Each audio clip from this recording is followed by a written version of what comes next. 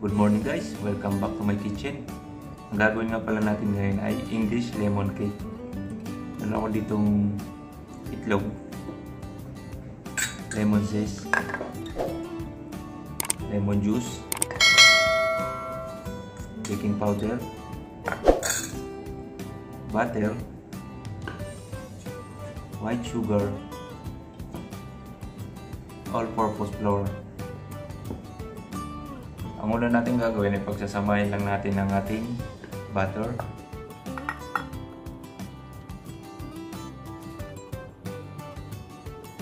Sugar.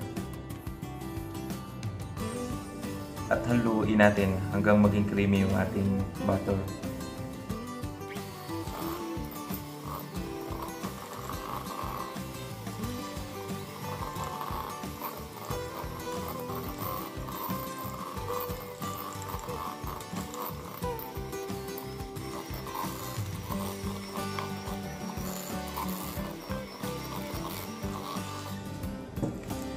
Ayun guys, creamy na yung ating butter. Pwede na natin ilagay yung ating itlog.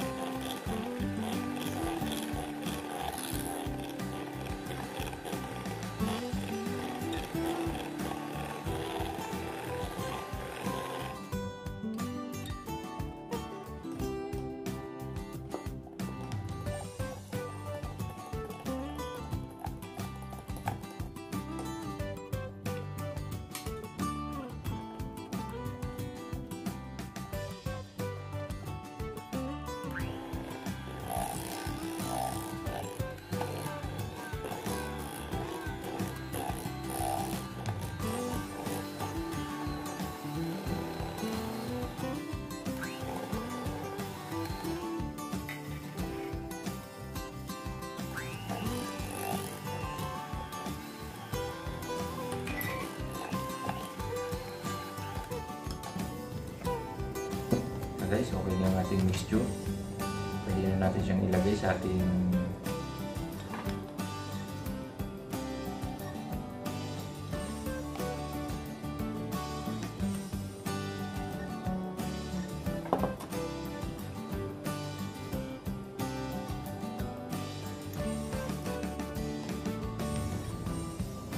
Ito na ang ating lemon English cake. Pwede na natin siyang lutuin sa 160 degrees Celsius and sa 45 minutes and 1 hour.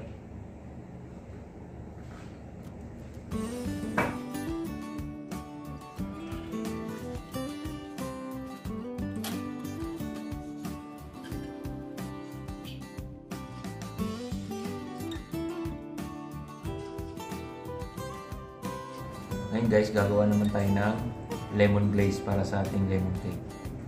Meron ako ditong powder sugar, milk, uh, lemon juice, and lemon zest. Ngayon lang natin, lagyan natin ng lemon juice ang ating powder sugar. Mga 3 teaspoon. Milk. 2 teaspoon.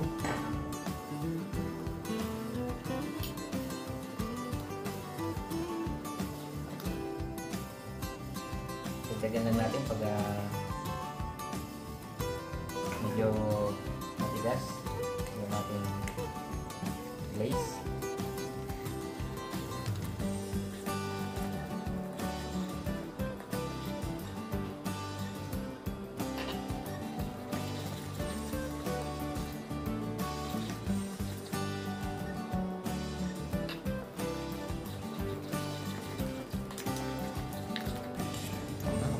Dapat ang lapit niya ganito. Medyo malapot.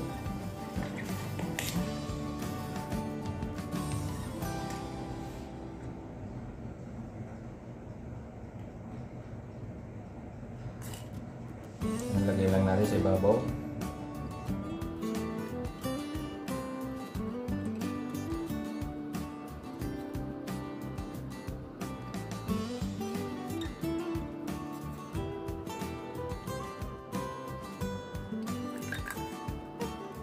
Lemon zest.